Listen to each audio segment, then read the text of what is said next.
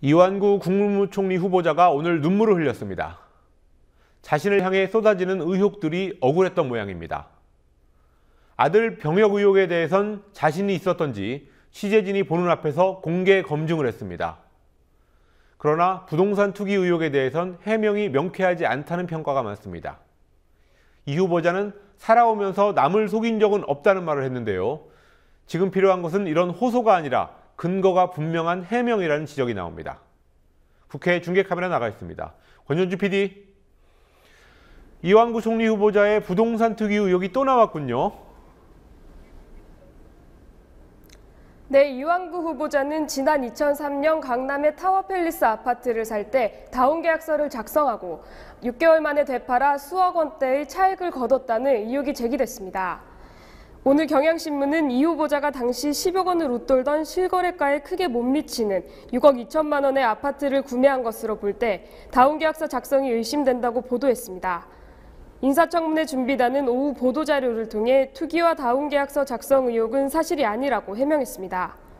준비단은 이 후보자의 타워팰리스 구매가 알려지자 지역구인 부여 청양 주민들의 불만이 나와 서둘러 매각했던 것이라고 설명했습니다.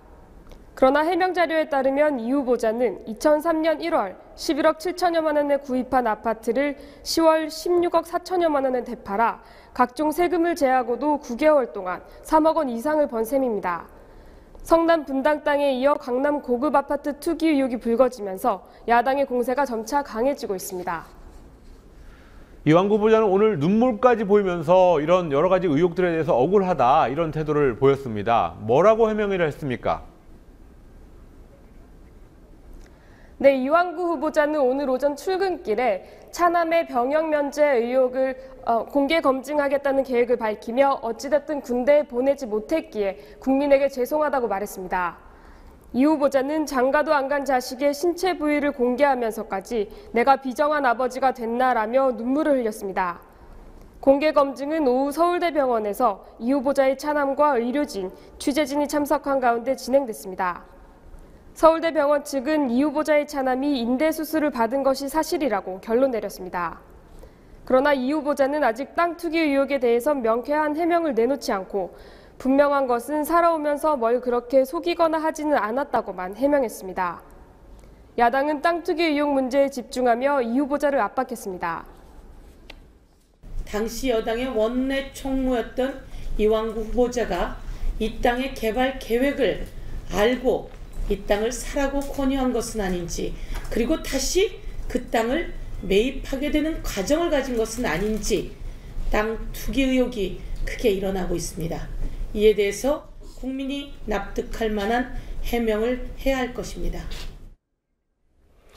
예, 연말정산 파동 문제로 넘어가겠습니다. 재작년에 세법 개정안을 심사했던 여야 기획재정위 위원들이 오늘 토론회에서 한자리에 모였습니다. 각기 다른 해법을 내놨다고요?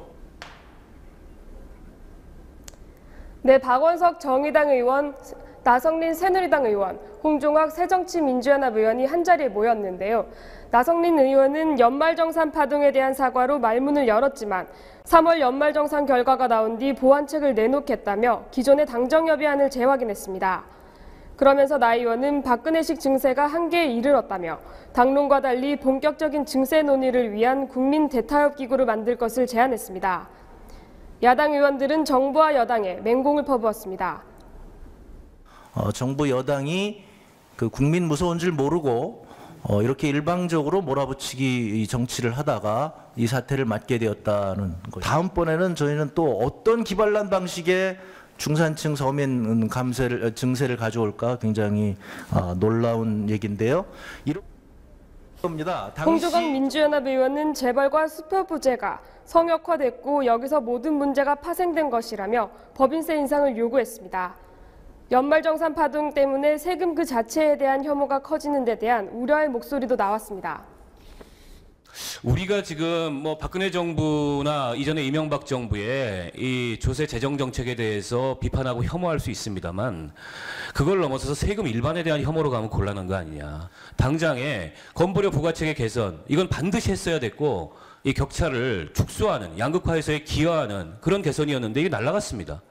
이건 예, 다른 소식 한 가지 알아보겠습니다. 헌법재판소가 통합진보당 해산 결정문의 오류를 오늘 인정하는 어처구니 없는 일이 있었군요. 네, 헌재 결정문에 이른바 지하혁명 조직 아로 모임에 참석한 것으로 적시된 두 사람이 실제로는 모임에 참석하지 않았다는 사실을 헌재가 오늘 인정하고 직권으로 오류를 삭제했습니다. 두 사람은 헌재 결정 직후 회- 회합에 참석하지 않았다고 반발했고 지난 26일에는 헌법재판관 등을 상대로 명예훼손 소송을 낸 상태였습니다. 그러나 헌재는 오늘 오류를 수정하면서 당사자들에게 사과 한마디 하지 않았습니다. 헌재가 정당 해산이라는 초유의 결정을 하면서도 사실 확인도 제대로 하지 않은 채 졸속으로 심판을 진행했다는 비판을 피하기 어려워 보입니다. 지금까지 국회에서 국민TV 뉴스 권현주입니다.